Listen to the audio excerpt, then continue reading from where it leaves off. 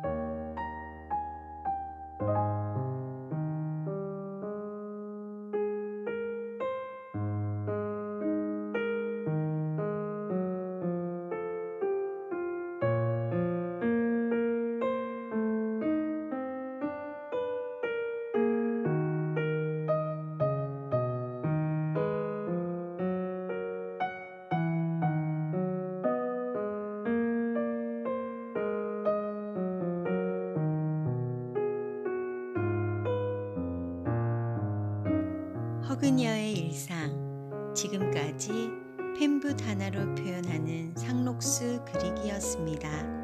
마음에 드셨다면 좋아요, 구독 부탁드립니다. 감사합니다.